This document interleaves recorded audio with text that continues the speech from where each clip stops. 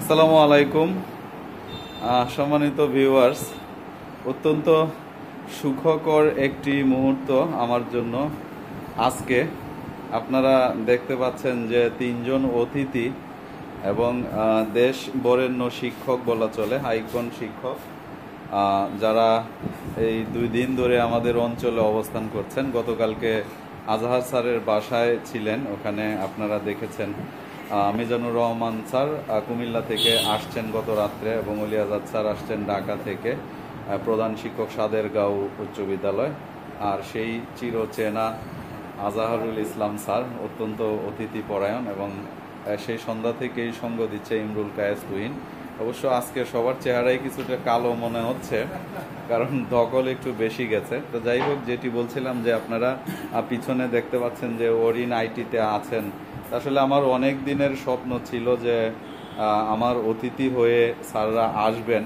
তো যাই হোক, অপেক্ষা করতে করতে অনেক পরে সেই আশার পূরণ হলো। আজকে আমার গরিব আলোয় এসেছেন, অত্যন্ত আনন্দিত আমি।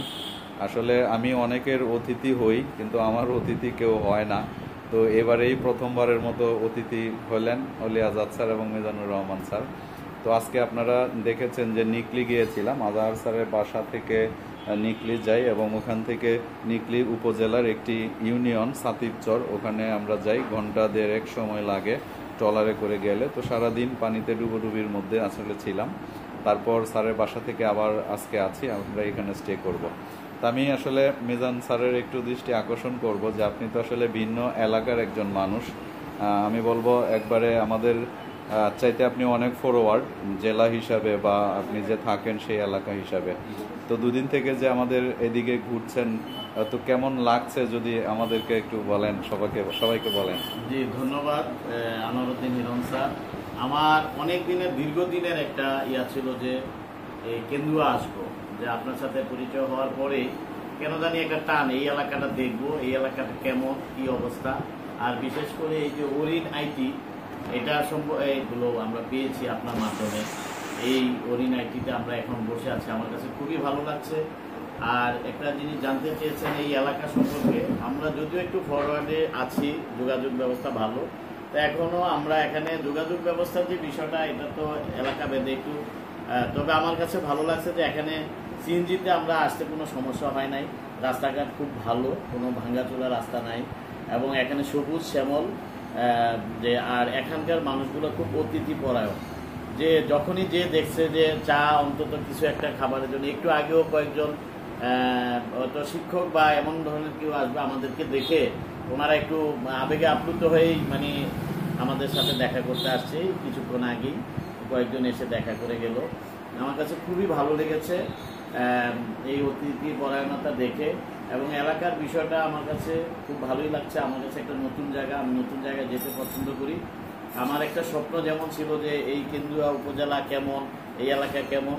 এখানে একটু একটা দিক, একটু ভিন্নতা যে দিক নিয়ে আমি একটু দিক ভ্রম আছি। আমি যেদিকে বসে আছি, আমি মনে আছি, আসলে এটা হলো পশ্চিম দিক। আর তার অপোজিট হলো পূর্ব দিক, রাস্তাটা হলো উত্তর দক্ষিণে। উত্তর দক্ষিণে হলো রাস্তাটা আছে। না না না সরি সরি পূর্ব পশ্চিমে। আর আমি ধারণা করছিলাম যে রাস্তাটা হবে উত্তর দক্ষিণে আর এই দোকানটা হবে বাম পাশে মানে পশ্চিম পাশে। এটা একটু আমার ভুল, আমার যে কল্পনা জগৎটা নিয়ে ভাবছি যে অরিনাইটিটা এই জায়গায় আছে মানে এটা উপজেলা শহর, উপজেলা প্রপার হ্যাঁ খুব চমৎকার একটি জায়গা। আর এই যে যে স্যার আনোয়ারুদ্দিন নিরম স্যারের বাসার কাছেই, এই আমরা পায়ে হেঁটে এখানে চলে আসছি। খুব ভালো লাগছে আমার কাছে। ধন্যবাদ। ধন্যবাদ মিজানুর রহমান স্যার। আসলে আপনার কথা থেকে বোঝা গেল যে আপনি অনেক ভেবেছেন আমার প্রতিষ্ঠান নিয়ে, দিক নিয়ে। যাই হোক, উল্টাপাল্টা হইলেও ধন্যবাদ আপনাকে। এবার আসলে ওয়ালি আজাদ স্যারের কাছে একটু শুনি। অবশ্য স্যার কিশোরগঞ্জে নিয়মিত যাতায়াত করেন। স্যারের আত্মীয় আছে সেই সুবাদে। হয়তো স্যারের কাছে হ্যাঁ এই অঞ্চলটা খুব একটা নতুন নয়। তারপরেও এই যে দুই দিন ধরে স্যার আছেন বা আপনি এর আগেও আসছেন, তো স্যার কি মনে হচ্ছে, কেমন মনে হচ্ছে? আপনি তো রাজধানীর মানুষ, একদম কেন্দ্রবিন্দুতে থাকেন, মানিকনগরে থাকেন, তো সেই হিসাবে এটা তো একদম অজ পাড়াগা বলা চলে। ধন্যবাদ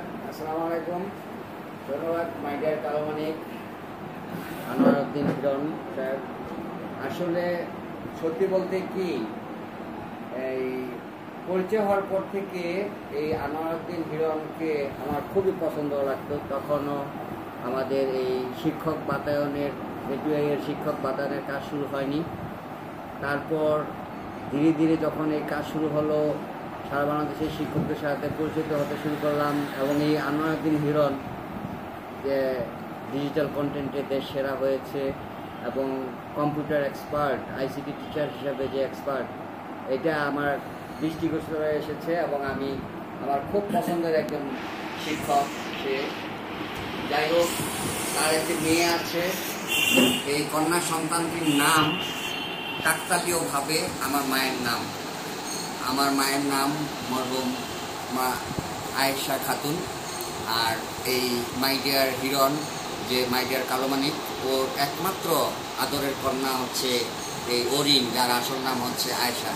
সেই থেকে আরও বেশি ভালোবাসা ভালো লাগা এবং কখন কোন দিন এখানে আসব মন আনচান করতো আজ এই প্রত্যন্ত এলাকায় কেন্দুয়া, নেত্রকোনা জেলার কেন্দুয়াতে আসতে পেরে, অরিন আইটিতে আসতে পেরে নিজেকে গর্বিত বোধ করছি। সত্যি বলতে কি, এই অরিন আইটি এই এলাকার শিক্ষক সমাজের জন্য একটি সুন্দর একটি প্রতিষ্ঠান। শিক্ষকরা এখানে এসে এই কম্পিউটারে ডিজিটাল কন্টেন্ট তৈরি করা, তারপরে কম্পিউটার চালানো হাতে কলমে শিক্ষা নেওয়া এবং বিশেষ করে ছাত্রছাত্রীরাও এখানে আসে এবং ছাত্রছাত্রীরাও এখান থেকে অনেক কিছু শিখতে পারে, উপকৃত হয় এবং এই সাপোর্টটা আমার এই মাইডিয়ার কালমানিক দিয়ে আসছে। আমার কাছে খুব ভালো লাগে তার এই কাজগুলো। এই জনসেবামূলক তার এই কাজটা আমার কাছে খুব ভালো লাগে। আর সবচেয়ে বড় কথা হচ্ছে এটু এর শিক্ষক বাগানের যেসব বড় বড় সম্মেলনগুলো এই যাবৎকালে হয়ে আসছে সেই সব সম্মেলনে এই অরিন আইটির পক্ষ থেকে এই আনোয়াদিন হিরণ আমাদের সকল শিক্ষকদেরকে একটি করে ছোট পেন, কলম শুভেচ্ছা উপহার হিসেবে- দিয়ে আসছেন। এটা সত্যি বলতে কি অরিন আইটির প্রচারণা না, এটা অরিন আইটির যে কর্ণধার, অরিনের যে বাবা, যে আনোয়ারুদ্দিন হিরণ, তার মহৎ মহৎ উদ্যোগ পরিচয় বহন করে।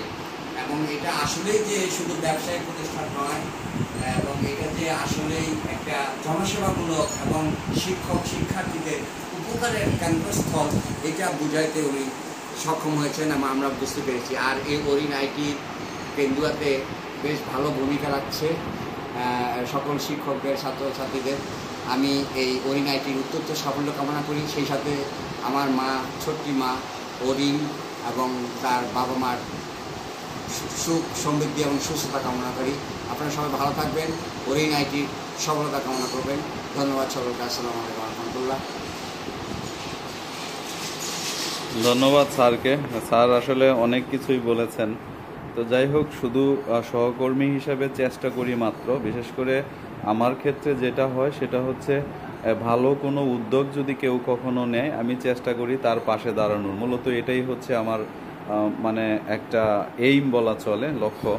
তো আসলে যে কেউ, সেটা বাংলাদেশের যেখান থেকেই হোক যদি কোনো উদ্যোগ নেন এবং সেটা যদি শিক্ষক বান্ধব হয়, ভালো কিছু হয় এবং সেটা যদি এটুআইকে নিয়ে হয়, আমাদের শিক্ষকদেরকে নিয়ে হয়, বিশেষ করে যারা একটু ভালো শিক্ষক, তাহলে আমি সেটাকে উৎসাহিত করার চেষ্টা করি।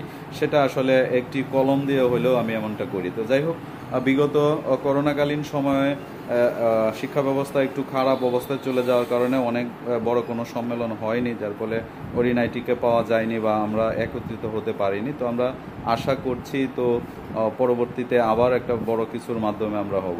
এই ভিডিওটি দশ মিনিট হয়ে গেছে, এজন্য আমরা কেটে দিয়ে আবারও নিব। তো আপনারা যারা দেখছেন, অবশ্যই পরের অংশটু দেখবেন। আমরা পরের অংশে আজহার স্যার এবং ইমরুল গায়েস তুহিনের কথা শুনব।